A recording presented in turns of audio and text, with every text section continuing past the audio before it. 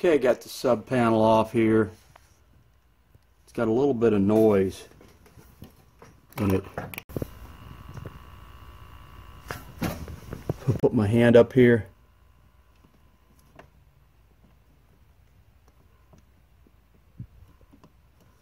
Now, this is live. Now, this one lug here got eaten out years ago because of salt corrosion and we had a dehumidifier on. So it's been abandoned. That's why there's a plug here. If I take the thermal camera here and look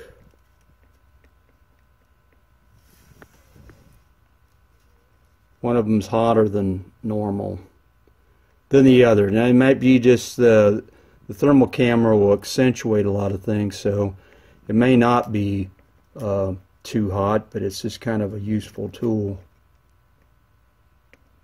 Breakers do get hot sometimes a little bit of loss but it can be just you've got some I squared R loss.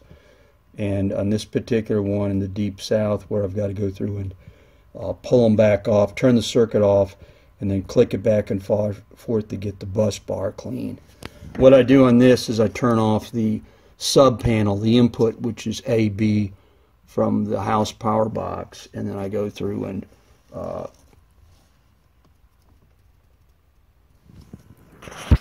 insert and reinsert and sometimes polish that. This is an older box. What can happen is you get some salt corrosion because I'm here by the ocean. And uh, once it starts to go ahead and get a little bit of uh, resistive loss, then it tends to heat the breaker up and then it degrades the breaker. It's not to where you have a fire or anything. I've never seen that. What happens is the breaker generally fails gracefully and it tends to trip early. But on this particular one, it's right there. That lug is hot. About 86, a little 87.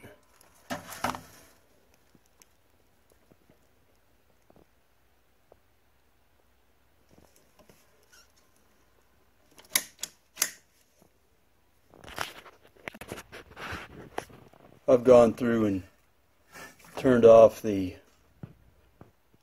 breaker, double breaker, and then pulled it out. So that's the one that's hot. Hotter than normal.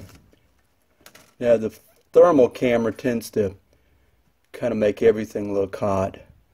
I mean, slightly. You have to be use everything with a grain of salt. It may or may not be a problem, but on here.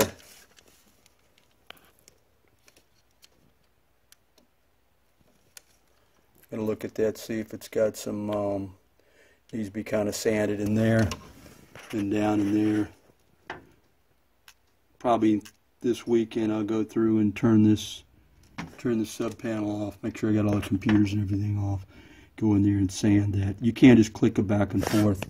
Can also be just that one of these uh,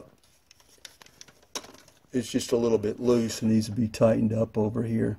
The wires on there.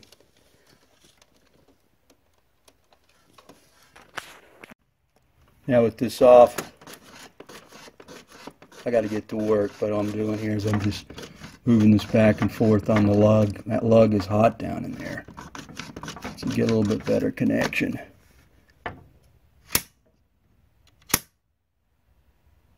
That's the particular one It's got a little bit more draw on it. That goes to a little window air conditioner it's running. But what can happen on a breaker, you can have a little load, maybe just a few amps going through for some lights or something. It's not a problem. Then you hook like in the deep south here a dehumidifier on big joker and draw, you know, 10, 12 amps or something like that and all of a sudden it'll make a bunch of noise. So just listening is not a bad clue or just putting your hand on this. I mean, a thermal camera is a nice tool, but just you can sometimes feel that one's hotter. This white here is the neutral.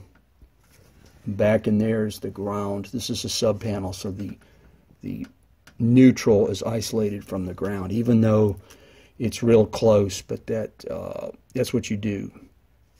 So this white wire goes back and the ground connect together back where the meter is. But again, the thermal camera is a cool tool to kind of isolate what's going on. Now that wire there being hot like that, that's just got a little, little bit more current than the rest because it's got uh, some stuff going through it. And that can just be the way it is when everything is connected together because that's one of the larger loads that's going right now. I mean, to be that far way up in here to be warmer, that's just uh, what normally happens. I mean, even if you got a brand new Baker box, just having a little bit more load, it'll heat up just a little bit more than uh, the rest. So, now what happened years ago on this is the breaker that was here um, was on one of the bathrooms, and it was only used for some lights. Maybe you run the heater every blue moon in the winter, coming out of a tub or shower. And then we put a dehumidifier in the bathroom. Uh, this is like 15 years ago, 20 years ago. And because it was running all the time, it was a big 50 pint per day model. It went through, and you'd come in the garage at night and you'd hear the sizzling.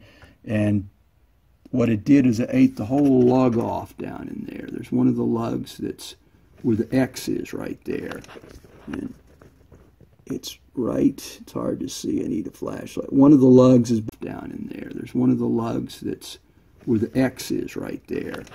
And it's right, it's hard to see. I need a flashlight. One of the lugs is basically screwed up to where it can't be used anymore, and that's where that X is. Basically screwed up to where it can't be used anymore, and that's where that X is. It's right here, back in there. So that is one that you can't use anymore, and that's what can happen to where you get a breaker and it runs so long, and then um, in the deep south here you get a lot of humidity, and then it goes through and you get a little R squared R loss, and it tends to eat up. Um, that's a sub panel, 125 amps.